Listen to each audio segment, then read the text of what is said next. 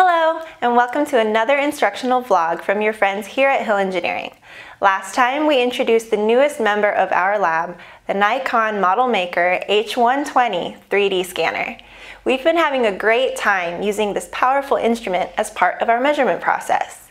Today we're going to show you how to use the 3D scanner to demonstrate the device's potential. Let's see if our lab engineer Ryan is ready for the tour. Thanks Camille. I sure am. Howdy folks. For those of you who may not have seen our last video, the Nikon H120 works by projecting a laser line onto a surface and records the location of the laser using a camera. It then uses triangulation to determine the distance from the scanner to the surface. For more information, click on our last vlog, which goes into greater detail on the scanner's specs. But for now, let's dive into the good stuff.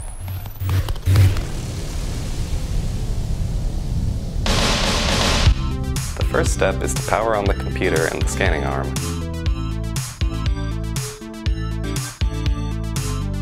Place the part on the table within reach of the arm. Fixture as necessary to make sure it's stable.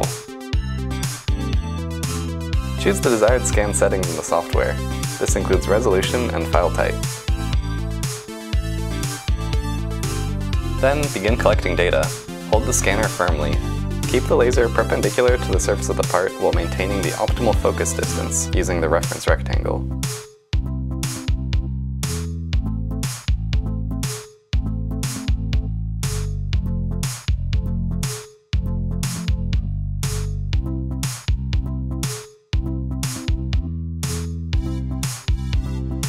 Monitor your progress on the computer screen.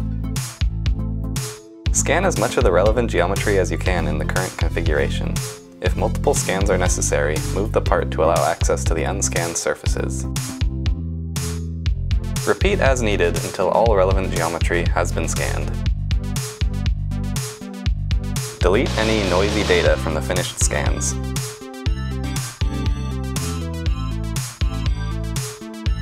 Combine the scans to create a single 3D model. This can be done by selecting regions of overlap in the individual scans.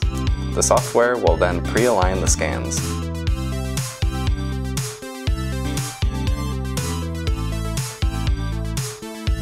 Use the software to then finalize the alignment and merge the scans.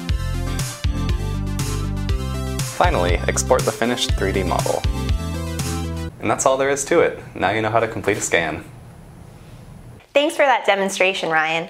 To all you out there watching, if you have any questions about 3D scanning or how it can help with your project, feel free to send us a message or leave us a comment below. For more information on the other services we offer, click the link below to visit our website. Don't forget to subscribe to all our social media accounts for updates from your friends at Hill Engineering. And remember, make it happen.